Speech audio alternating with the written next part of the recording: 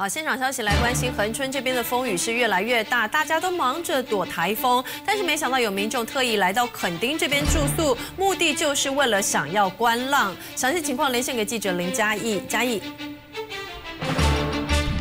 垦丁这边的风雨一阵接一阵，这个风势跟雨势都有增强的趋势。那么我们在沙岛景点这里的民宿老板表示呢，大家都要躲台风，但竟然是有人要来追台风的。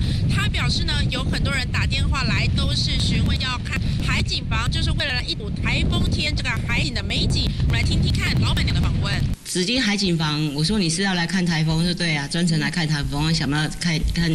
一下台风的状况，我很怕，真的进来的话很可怕，我自己就觉得可怕了嘞。好，老板娘提到呢，常客因为有住过，知道这边景房可以远眺这个沙岛这边的海景。那么目前呢，也可以看到从这个海景房看出去，场面真的是非常的壮观。因为呢，受到台风的影响，风浪非常强劲，海浪一波一波都打在这个岩石上，看起来真的是很壮观。所以呢，游客都想要来睹一睹美景。所以呢，老板娘提到了，今天仍然是有两到三组客人来入住，而且呢，坚持要住的就是海景房。那么他也提到了，其实，在每一个房间呢，他们都有装设这个铁卷门，如果这个风风速太过强劲的话，也会把这个铁卷门拉上，以免发生危险。那么以上就是现场的最新状况。